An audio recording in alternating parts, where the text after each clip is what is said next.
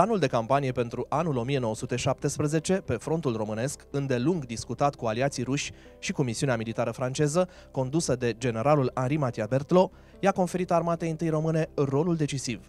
Dar prima dintre cele trei mari operațiuni desfășurate în vara lui 1917 a fost cea dusă de armata a doua, comandată de generalul Averescu în zona Mărăști. Satul Mărăști, puternic fortificat, nu putea fi cucerit printr-un atac frontal.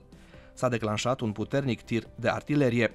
După lupte grele, au fost cucerite Plaiul Măgurii, Cornul Măgurii și Măgura Cașinului. Bătălia de la Mărăști a luat sfârșit. Generalul Averescu scria, poporul României moderne trebuie să-și întipărească bine în suflet ziua de 11 iunie 1917, când înscrie în istoria sa prima victorie în adevăratul sens al cuvântului, adică victorie ofensivă și defensivă. Concepția, organizarea și execuția operațiunii au fost impecabile, astfel că mărăștii au devenit un model de artă militară.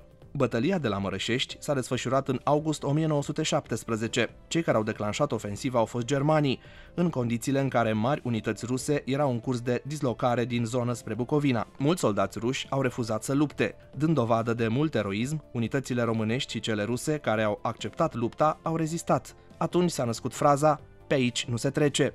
În ordinul de zi dat de comandantul armatei I, generalul Eremia Grigorescu, se scria că Mărășești a fost mormântul iluziilor germane. Timp de 14 zile, armata română a luptat din greu, în condițiile în care a trebuit să acopere și pozițiile părăsite de soldații ruși. Bătălia s-a bucurat de un larg ecou în presa vremii. Directorul ziarului Le Figaro scria Mărășeștii sunt verdunul român. În ultima zi a luptelor a căzut la datorie sub locotenentul Ecaterina Teodoroiu. S-a declanșat și bătălia de la Oituz. Inamicul preconiza o lovitură principală pe direcția Onești. S-au dat lupte grele la Cireșoaia, unde s-a blocat înaintarea germană.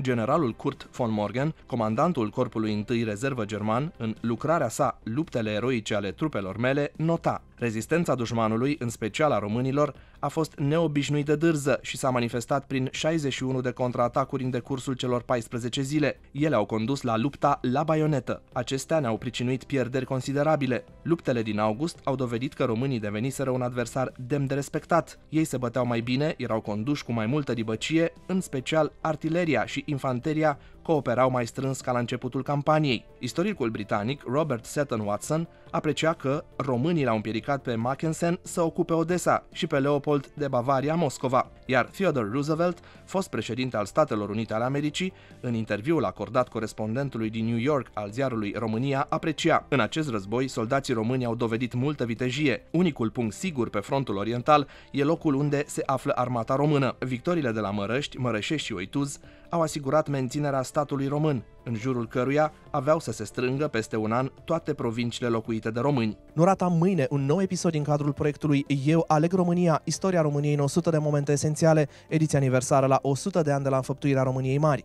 Poți să urmărești fiecare episod pe site-ul eualegromânia.ro și pe canalul de YouTube al campaniei.